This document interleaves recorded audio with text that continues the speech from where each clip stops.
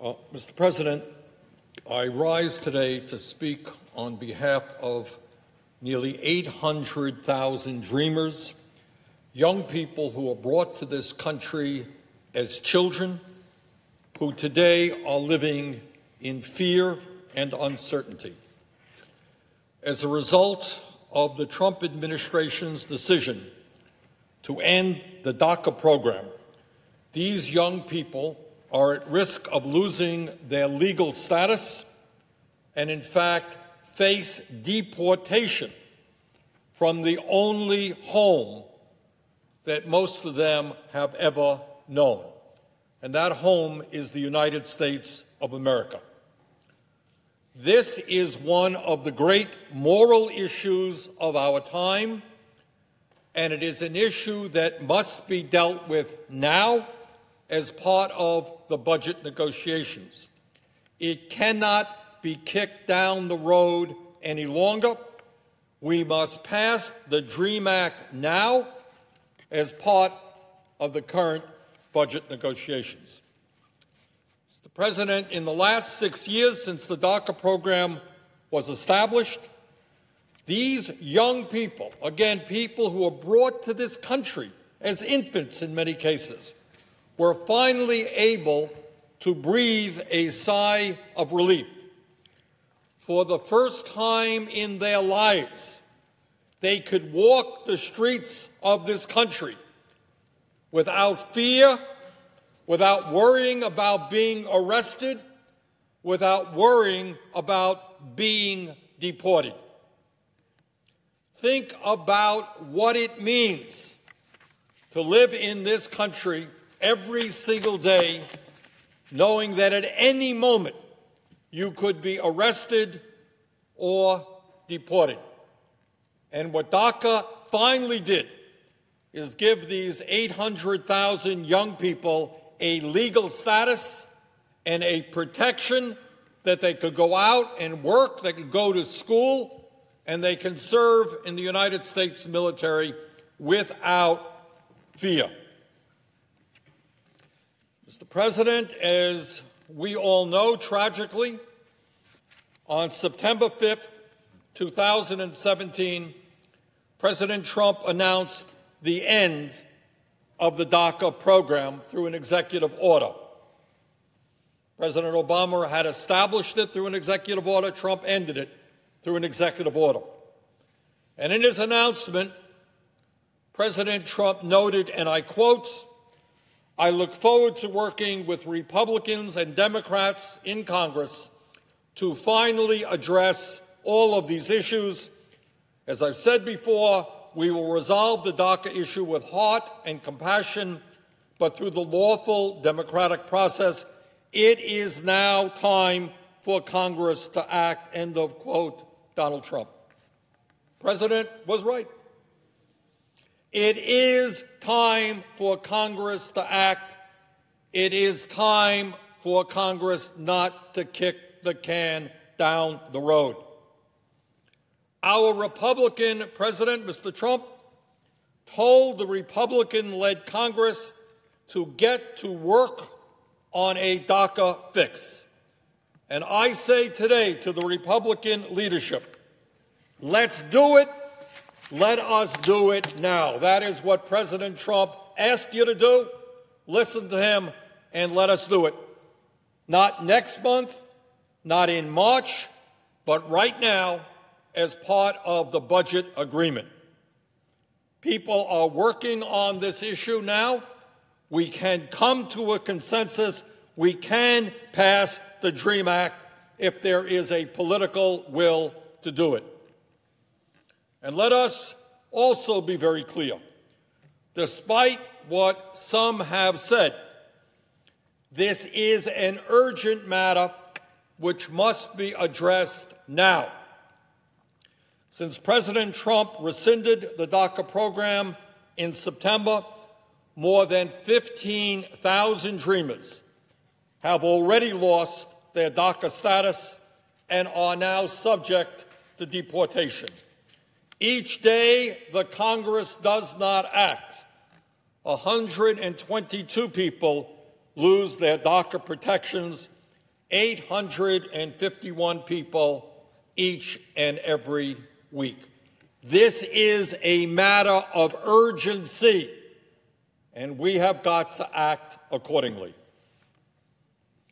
But I want to assure my Republican colleagues that not only is this the right thing to do from a moral perspective, from an economic perspective, it is also exactly what the American people want. Nobody here is asking anybody in the United States Senate to rise up and to be extraordinarily brave and courageous. Why don't you just do what the American people want us to do? No profiles in courage are needed now. Poll after poll have shown that the overwhelming majority of the American people want to provide legal status to the Dreamers and to protect them from deportation. From a political perspective, this is not a difficult decision. A Washington Post ABC poll from September 2017, a few months ago, found that 86% of Americans support allowing dreamers to stay in the United States. 86% of the American people support providing legal status to dreamers. This is not a tough political decision. Another recent poll conducted by Quinnipiac found that 77% of voters and 65% of Republicans support legislation to protect dreamers and provide them an opportunity to work, to go to school, and to pursue a pathway to citizenship. Another poll conducted by CNN last month found that by an 83 to 13 percent margin, Americans support efforts to allow dreamers to remain in the United States instead of facing potential deportation. Only 15 percent believe that dreamers should be deported. Passing the DREAM Act is also in our national security interest. Former Secretary of Defense Robert Gates recently noted, and I quote, the United States faces extraordinary security challenges that are placing growing pressure on our armed forces. That is why we need legislation that will provide a pathway to citizenship for those immigrants who, among other attributes, are serving or have served in the military, whether they are in America legally or were brought here illegally as children. End of quote, former Secretary of Defense Robert Gates. In addition, just last week, three former Secretaries of Homeland Security wrote to House and Senate leadership expressing both their strong support for a DACA fix and for the urgency of acting now. Secretaries Chertoff, Napolitano, and Johnson warned of the need for Congress to act immediately and emphasized how the agency needs time to implement a new program. Without it, they cautioned that the delay will sow uncertainty in the business community, drive undocumented individuals further into the shadows, with immediate deportation looming for tens of thousands every single month. Let us be very clear that when we talk about the DACA program, when we talk about these young people receiving legal status, these young people are vetted, they pay a fee, and the vast majority of them are now at jobs important to our economy.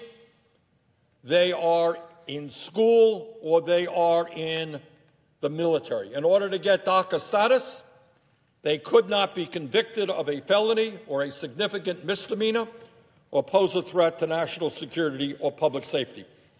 as almost everybody recognizes, these are fine young people who we should be very proud of and not talking about deporting them.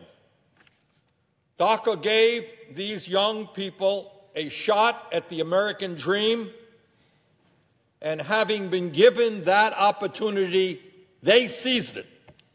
And they are excelling and contributing to our country, to their country, in so many ways. With 91% of DACA recipients in the workforce, they play an important role in our economy. Many hundreds of dreamers have taken up the call to serve in our armed forces.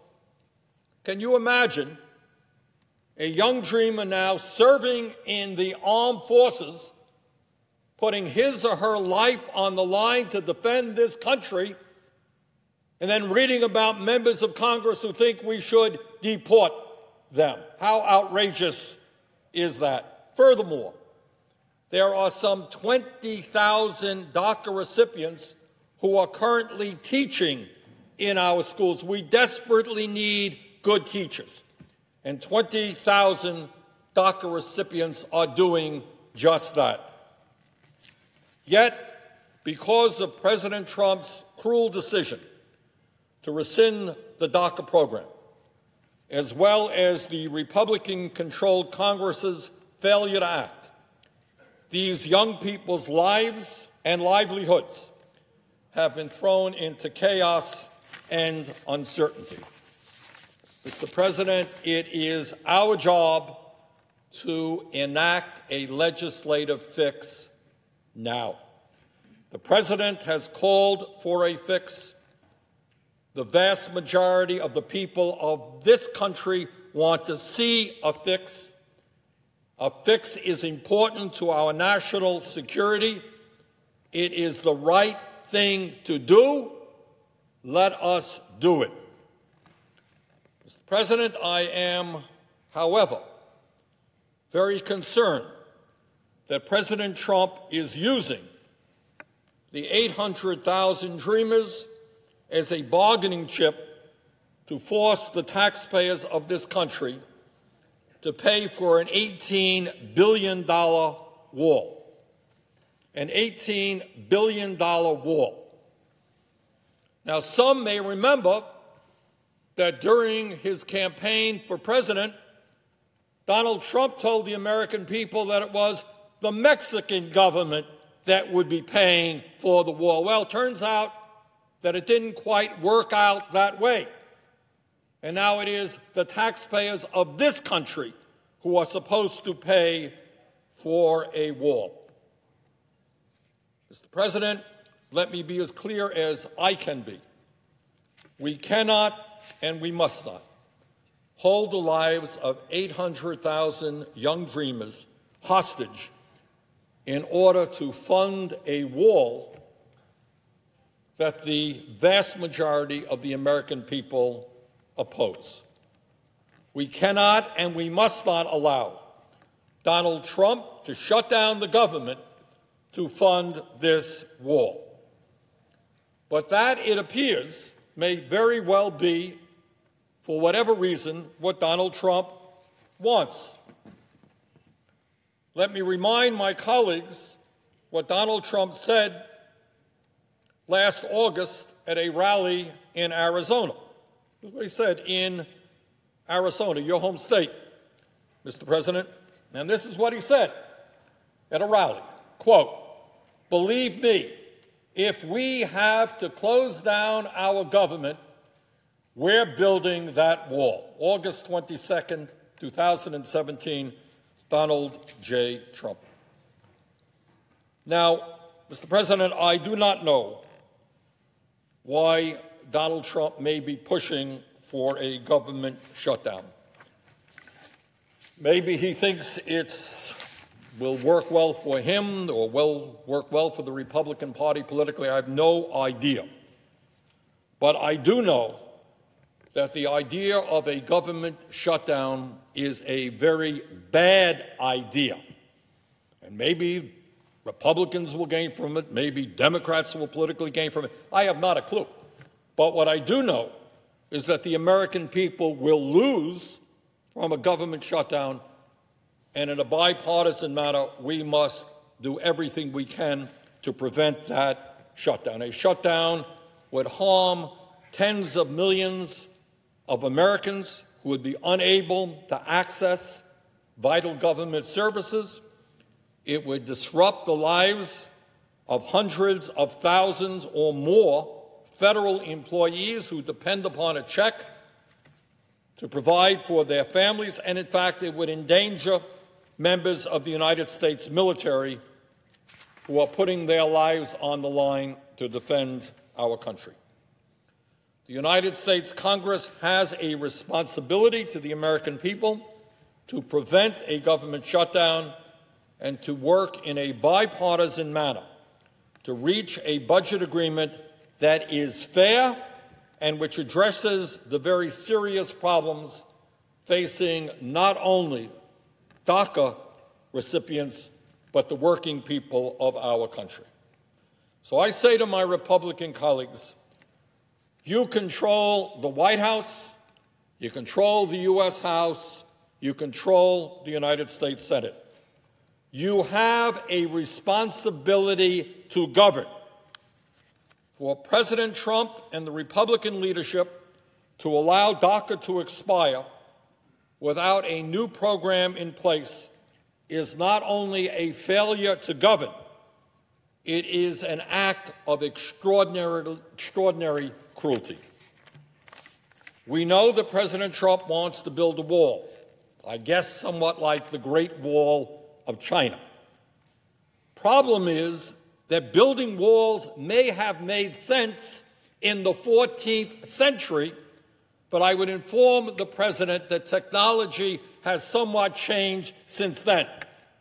And our job is to provide strong border security in the most cost effective way that we can, and that way is not building a wall. And ironically, while the president wants to spend $18 billion to build the wall, he is taking money away from other far more important and effective border security measures. Let me quote from an article that appeared in today's New York Times. Quote, the Trump administration would cut or delay funding for border surveillance, radar technology, patrol boats, and customs agents in its upcoming spending plan to curb illegal immigration, all proven security measures that officials and experts have said are more effective than building a wall along the Mexican border. The wall also has become a bargaining chip in negotiations with Congress as lawmakers seek to prevent nearly 800,000 young, undocumented immigrants from being deported. But security experts said the president's focus on a border wall ignores the constantly evolving nature of terrorism, immigration, and drug trafficking. End of quote. In other words, if we want strong border security, if we want to keep people out of this country who should not be coming into this country, if we want to keep drugs out of this country, building a wall is not the most cost effective way. May have been a great idea in the 14th century in China when they built their Great Wall, but it is not a great idea in 2018 in the United States of America. So let me just conclude by saying that we are at a very important moment in history.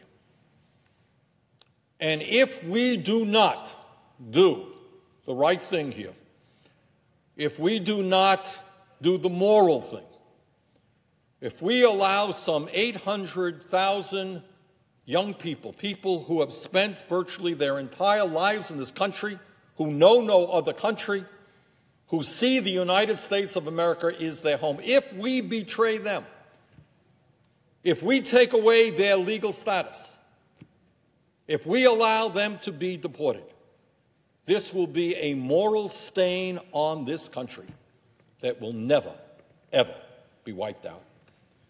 Mr. President, thank you, and I would yield the floor.